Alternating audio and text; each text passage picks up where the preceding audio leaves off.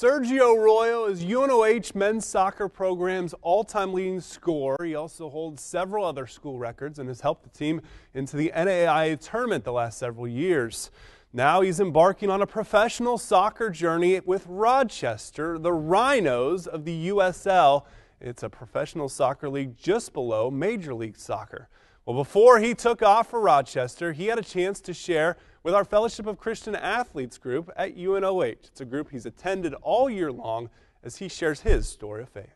It's going to be a little bit different to what everyone has done, right? Because he's on camera and everything. Hello, people from the future.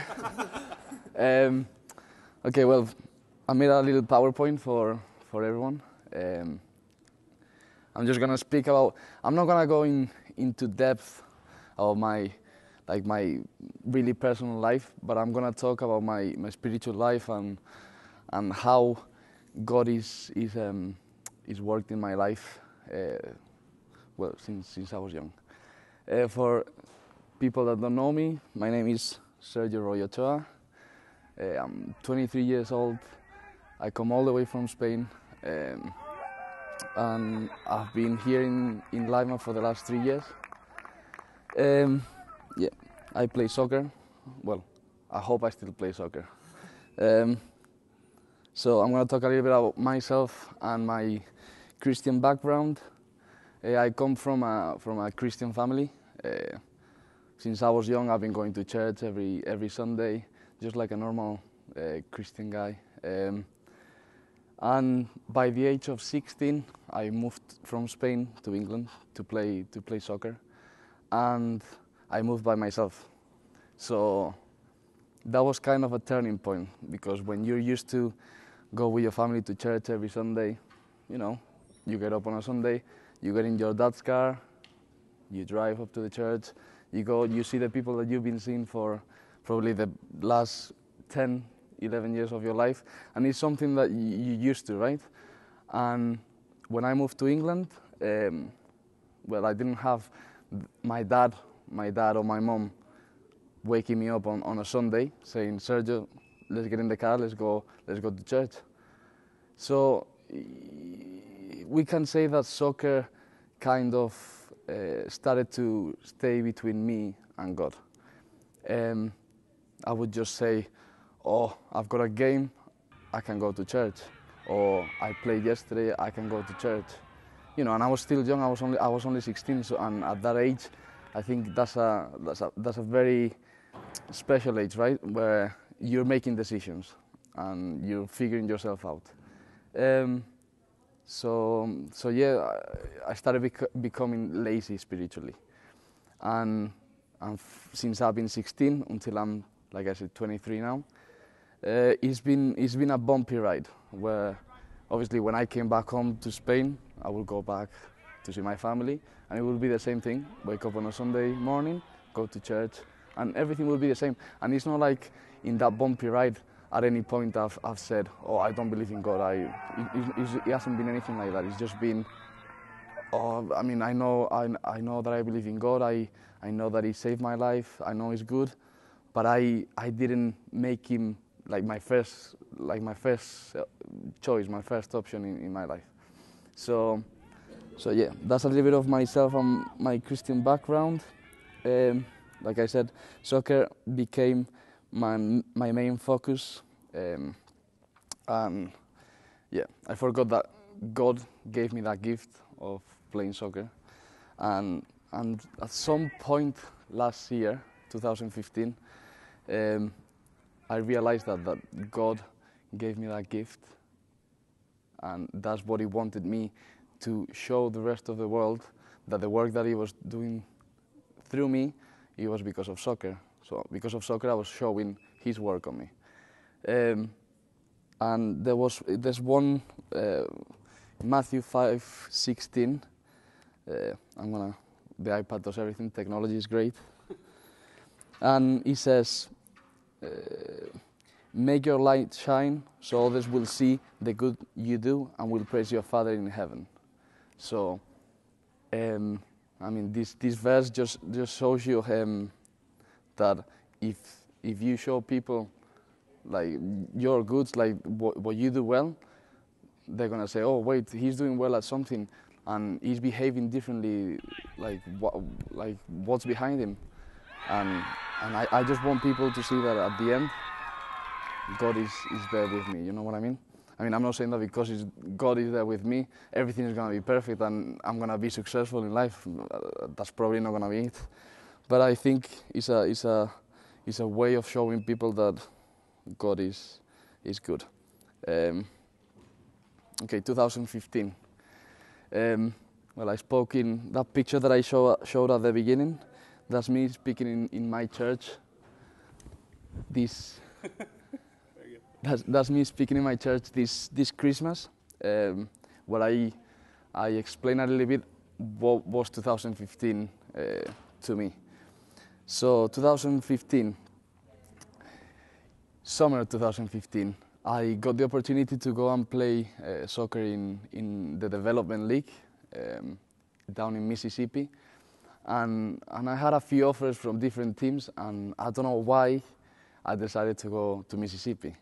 Mississippi was the furthest one, uh, like, I don't know. And, and suddenly I got down there, and, and it was a Christian organization. I, I didn't ask for, well, I think obviously my mom and dad, they've always been praying, oh, God, please, like, work on Sergio's life. Uh, like, not bring him back, but like, you know, like, make, make him sure that he, he's, like, he's following you and he, you are his first choice in life. And when I told my mom, oh, those, that's my, the answer to my prayers. And, and it, it was, it's true, like, that's, that's an answer to, to one of the prayers that not, not, not only my mom and my dad have been, have been, have been doing, but I know the church back home, they've been, they've been praying for it too.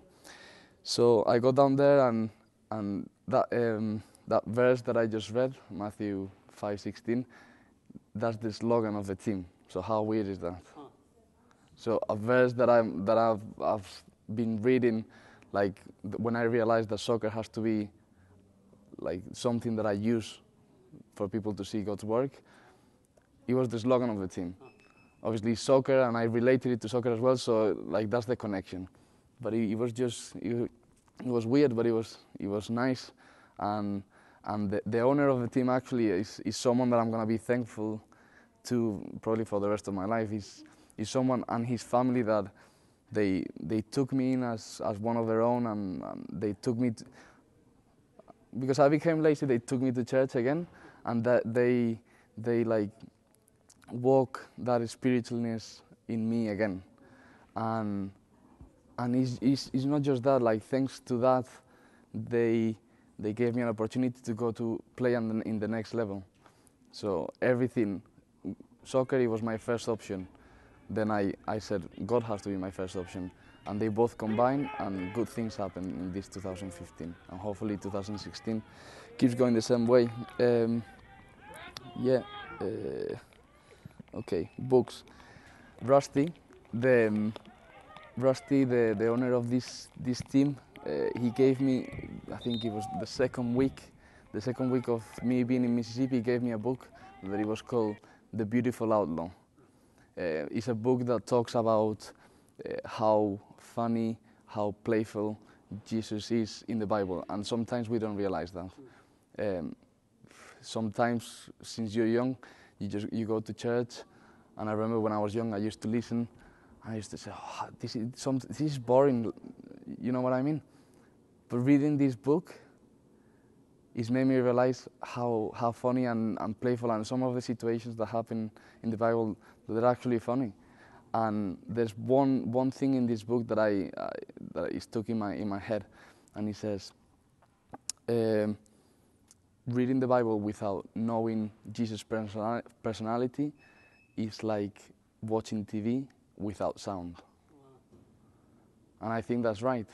If you know his personality, obviously we're not going to know his personality because we weren't there, but if you if you read this book and you see the ways he, he behaves and you know like I think it's, it's much more fun when you read the Bible after because you realize. What was it called? The Beautiful, the beautiful Outlaw, yeah. Um, it's like, and then I read the Wild Wild at Heart. Yeah. I think it's the same. It's the same author. I think. Okay, John. Yeah.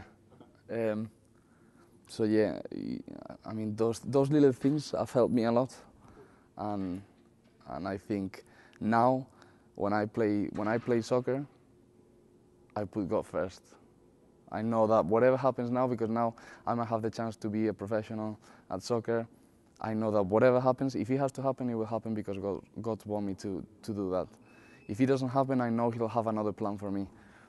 But right now, He's showing me that He wants me to play soccer, so I'm really grateful for that because I've realized that if I put Him first, He's gonna, he's gonna work through me, and soccer is gonna, so, soccer is gonna be involved probably at all times. Um, so yeah, I'm, I'm really grateful for that. And I know it's a little bit of marketing because Stephen Curry always wears it now, but it's in Jesus' name I play. So that's that's what I I that's what I put in my head. So I, I never forget, you know, that I, I play for, for him.